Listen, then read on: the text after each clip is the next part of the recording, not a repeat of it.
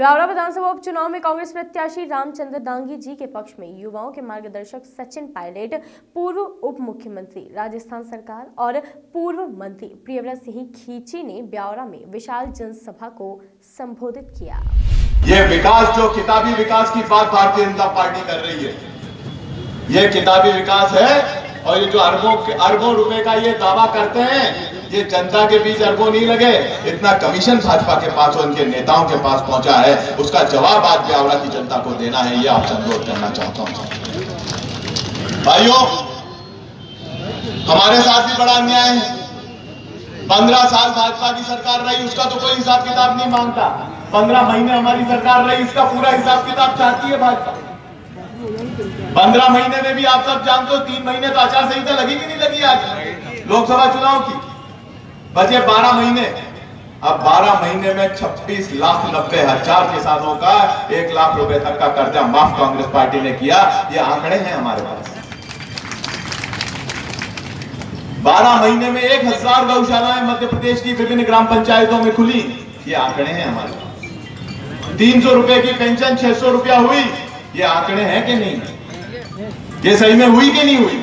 जनता तक पहुँचा करके हम लोगों के दिल दिमाग में जो जगह बनाएगा, उस नेता को जनता याद करती है। हम विपक्ष में रहे, राजस्थान में। मैं साढ़े छह साल तक कांग्रेस पार्टी का अध्यक्ष रहा। हम वहाँ पर गए तो बीजेपी की 200 में से एक सीट थी। लोग मुझे कहते थे, साहब, यहाँ से बीजेपी को हटाना बड़ा मुश्किल वसुंधरा जी मुख्यमंत्री बन गई हैं, मोदी प्रधानमंत्री बन गए हैं। 200 में से एक सीट बीजेपी की थी। मैंने पहले दिन से कार्रवाई शुरू करी। और किसानों और नौजवानों के साथ खड़े हो गए। सड़कों पे गाँव में धरने के लिए लाठीचार्ज हुआ जेलों में गए, भूख हड़ताल करी, पदयात्रा करी, न्याय यात्रा निकाली। जनता को लगा कि कांग्रेस के लोग हमारे लिए खून पसीना मारने को तैयार हैं। जनता ने उनको आशीर्वाद किया और जो हमने वादे किए हैं, उनको पूरा करेंगे। और दिल्ली की सरकार ने क्या किया?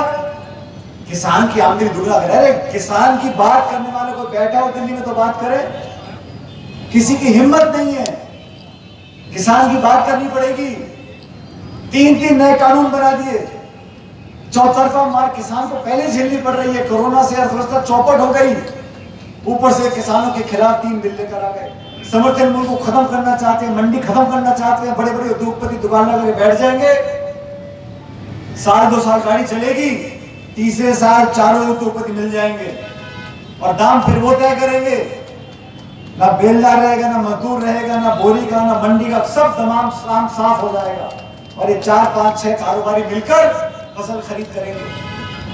इसलिए साथियों किसानों का अगर भविष्य बेहतर करना है देश को संदेश देना है कि नौजवान और किसान छत्तीस कौन के लोग चारों धर्म के लोग एक साथ खड़े हैं तो आप लोगों को दागी सात को इस बार में भेजना पड़ेगा भोपाल विधानसभा के लिए। बहुत दूर से राजस्थान, जयपुर से सारे काम छोड़कर मुझे कमलनाथ जी ने और दिग्विजय सिंह जी ने कहा कि प्रचार के लिए आना है। मैंने कहा, प्रचार के लिए मैं पहले भी आया हूँ, आज भी आया हूँ और कल भी आऊँगा और डंके की चोट पे आपका आशीर्वाद लेकर जाऊँगा। आपको वादा करता हूँ, जैसी भी हैसियत हो, आपके लिए चौबीसों घंटे काम करने के लिए तैयार है। मेरे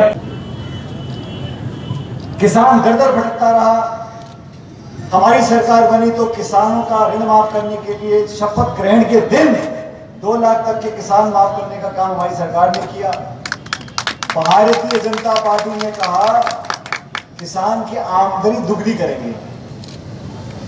या कुछ किसान बैठे हैं साथियों आप में से किसी की आमदनी दुगनी हो गई क्या? हो सकता हो गई मुझे नहीं बता रहे हो बता दो। आमदनी दुगनी होगी। खाते में पंद्रह लाख रुपए जाएँगे दो करोड़ रोज़गार मिलेंगे। ये सब बातें बोली गई थी।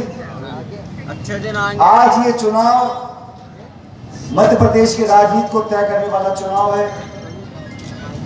इस ज़िले में कई बार मेरा आना हुआ।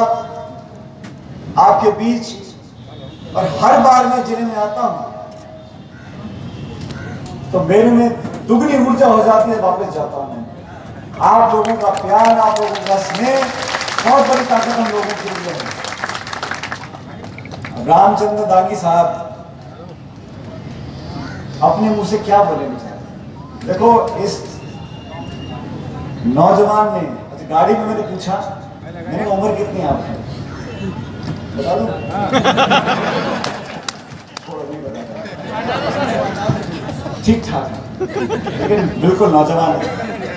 इतने लंबे अरसे तक चुनाव ना जीतने के बावजूद भी ईमानदारी से, मेहनत से, आत्मीयता से, श्रद्धा से आप लोगों की सेवा कर रहे हैं। पहली बात तो अपने दिमाग से भ्रम निकाल दो लोग भाजपा के लोग डालना चाहते हैं। मैं शहर वासियों से विशेष रूप से कहना चाहता हूँ, जो व्यवसाय करते हैं, छोटी दुकान चलाते हैं, धंधा पानी करते हैं, साथियों, एक सज्जन शरीफ उम्मीदवार कांग्रेस पार्टी ने दिया है, ये अगर जीत कर भोपाल जाएँगे तो आपकी वकालत करेंगे।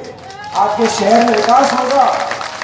शहर में अगर कोई असामाजिक तत्व होगा तो विधायक बनकर सबसे पहले कड़ी का हिंदू, मुसलमान, मंदिर, मस्जिद, पाकिस्तान, चीन, श्रीलंका, कोई कहीं का विषय बता लो पौने घंटे का भाषण दे देंगे। लेकिन खाद की, डीपी की, बिजली की, पानी की, सड़क की, स्कूल की, कॉलेज की, कारखाने की, निवेश की, रोज़गार की, इनकी कोई बात नहीं करनी। उन्हें तो सत्ता में बैठना है, कैसे भी सत्ता से चिपक कर रहना है भावनात्मक मुद्दों को हवा देकर उनका वोट ले लो। ये फला जात का फला बिरादरी का फला गोत्र का फला धर्म का लेकिन कांग्रेस पार्टी 130 साल पुरानी पार्टी है। हम में भी कुछ कमियाँ हो सकती हैं लेकिन कांग्रेस पार्टी की नीति नियत में खोट नहीं है। इसलिए साथियों जो हमारी सरकार रही पंद्रह महीने जितना हो सका आप लोगों के काम किए। शुद्ध के लिए युद्ध चलाया, ज़मीन माफियों के खिलाफ काम किया, रेत माफियों के खिलाफ काम किया और कोशिश करी कि किसान के कर्जे और माफ़ हो। दो लाख तक के किसान के कर्जे माफ़ हुए। लेकिन ये उपचुनाव, पूरा देश इन उपचुनाव को देख रहा है। और देश जानना चाहता है कि ब्यावरा का मध्य प्रदेश का मतदाता सत्य के साथ है कि असत्य के साथ है? धर्म के साथ है कि धर्म के साथ है? इस देश में लोकतंत्र है, प्रजातंत्र है, जमहूरियत है वोट का राज है, संविधान का राज है, वो अगर पुनः कायम करना है तो संदेश पूरे देश में देना पड़ेगा। मैं दो दिन पहले बिहार में था। बिहार में जो पहले हवा चल रही थी महागठबंधन के लिए, आज आंधी चल रही है, नीतीश कुमार का वहाँ से जाना तय। वो भी पंद्रह साल से बैठे हैं। मतलब छोड़ने को तैयार नहीं है। किसी दल का साथ लेना हो, किसी गुट का साथ लेना हो, कैसे करके कुर्सी से चिपक के बैठे रहो। अरे, कुछ रखा नहीं कुर्सी के अंदर। जनता के दिल में जगह बना लो। भगवान ये बात देखता है। अरे, पदों पर कितने लोग बैठे? कितने मंत्री हो गए? कितने प्रधानमंत्री? कितने मुख्यमंत्री? वॉइस ऑफ़ राइट्स के लिए राजगढ़ से नाजनीन अल्ताफ की रिपोर्ट।